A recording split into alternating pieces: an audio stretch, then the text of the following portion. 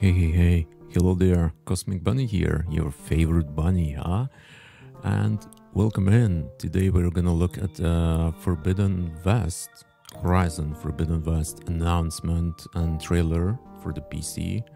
Look over the PC features and yeah, I'm gonna comment on the trailer, what I think, and I am excited. I hope you are excited too. I am also a streamer on Twitch and mediocre streamer. I deliver you mediocre content, also same for YouTube. So I hope you will enjoy this. If yes, then click the like button, subscribe of course, and leave your feedback in the comments. So let's go. Okay, so let's see what this trailer is about. Ooh, graphics look amazing. Holy crap.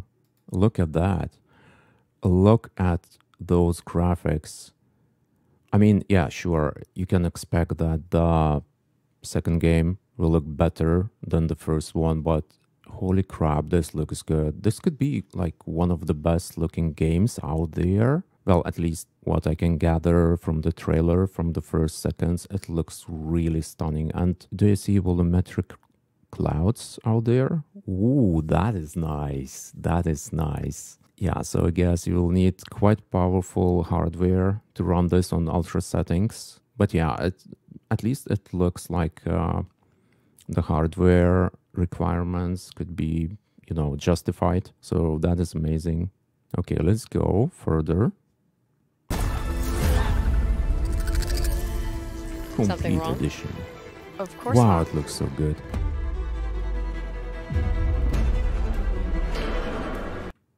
Oh, and Nixxes. Nixxes does the port.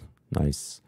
Also, Sony is like, uh, well, it's a bit ironic, but Sony is one of the best, if not the best, PC publishers right now. Their ports, their games are so good on PC. They have so many PC specific features. Also, most of the games are pretty well optimized. They look good. Well, the Last of Us had some issues at the start, but then later on they fixed the game kind of. It runs okay now. Then the first Horizon it had some issues at launch, like average performance, but that was also improved. So Sony always tries to, you know, take care of those uh, big games they release. But then there are other games like God of War. It was such an amazing port since day one. Then we have Ratchet and Clank, which is which is pretty damn good. And then what else was there? Oh yeah, Uncharted. Uncharted for me personally, it ran perfectly well. So yeah, looking good so far.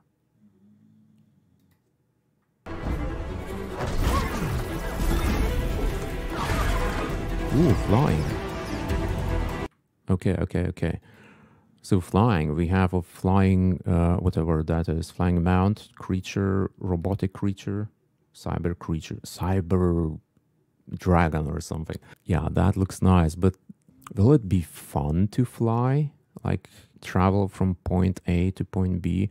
I guess for first like 10 times it will be a blast to fly over that uh, beautiful scenery, right? Especially if you can fly through those volumetric clouds, that would be amazing.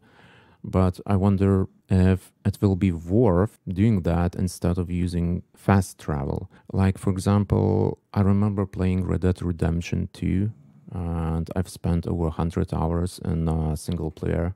And I barely used fast travel in that game. I used it maybe several times because traveling on a horse it was so so much fun because all those events kept happening on your way. Some of them were sad, some of them were funny as hell. You had some laugh. And that was the reason why I just didn't want to use any fast travel in that game. And with this one, I mean, I don't know. It seems uh, it seems fun, but it could become kind of boring and push you to use fast travel anyway. But still, a very nice addition to the game. Flying Mount, it's new, it's fresh. And with these graphics, I think I will want to fly at least for like 10 times or so. Ooh, ultra-wide support. Ultra-wide support, that is important. Even though ultra-wide community is pretty small, but I love that Sony cares about us, about us who want to play the games in cinematic aspect ratio because it's so pleasant to the eyes. If you haven't tried it and you would try it, you would know what I mean. It transforms the game into that nice cinematic view and ultra-wide support in Sony ports usually is pretty good. Only Uncharted, I think, didn't have full ultra-wide support. Like, again, God of War had full ultra-wide support, even in cutscenes. It looked so, so damn good. Then I think The Last of Us also has ultra-wide support. Uh, but first Horizon game, I think it didn't have ultra-wide support in cutscenes. I had to use a fix. So yeah, that's a very nice addition. Again, Sony doing PC things, PC specific features. Nice one. Let's go further.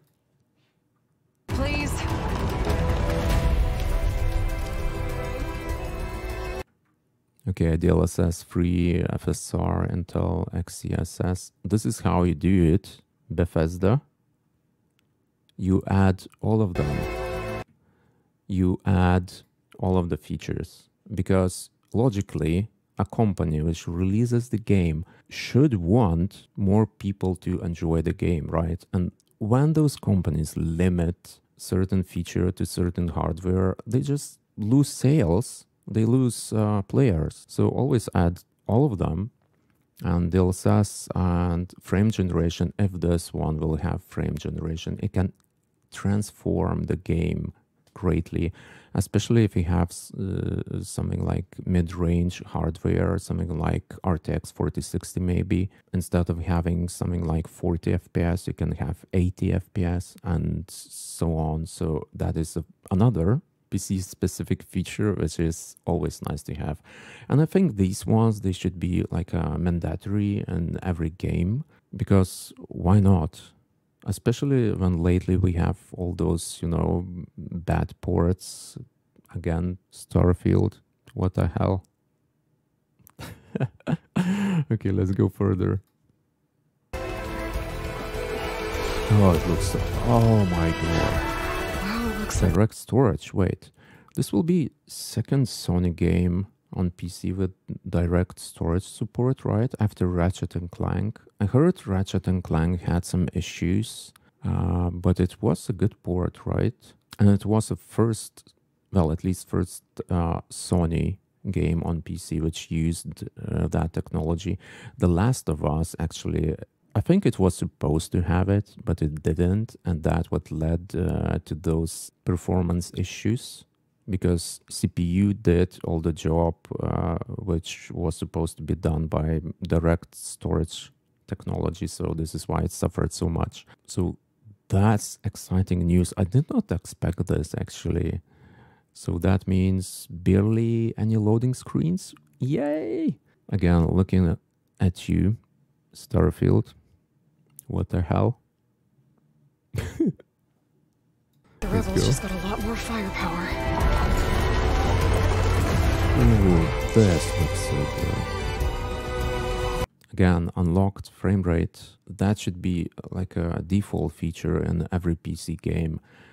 Maybe except, you know, fighting games which are locked to 60 FPS because it affects gameplay. If uh, different people play at different frame rates, it can affect the gameplay because uh, those moves and everything they are locked to frames or whatever. Sorry, I'm not an expert on fighting games, but single player games, multiplayer games, especially like uh, shooters, always should have unlocked frame rate. There is no reason to release a game with locked frame rate. So, so again, plus one to Sony. Nice one. Ooh, kaboom. Oh my god. It's like... It what, DualSense? They even adding DualSense support? Well, I don't have PlayStation controller. I have this and ironically I'm gonna play this on Xbox controller. But yeah, that's that's like Sony giving you everything they can offer on PC, you know. It's very nice to to see that those who have PlayStation controllers, they can use them to full extent. That's awesome. That's an awesome feature. I have dug up a way to crush you like a Oh, you know what looks a bit weird to me? You see that, uh, like, I don't know, wide glow around the characters? I don't know. On one hand, it looks kind of nice. On the other hand, it looks kind of weird, as if the characters are not there, you know, as if they are like uh, behind some green screen, something like that. So I'm not saying it's a bad thing. It looks nice, but it looks kind of weird to me. So I don't know, but that's not a big deal. Look at look at everything. I mean, it looks amazing. It still looks uh, stunning. It could be one of the best looking games out there. I'm impressed. insect.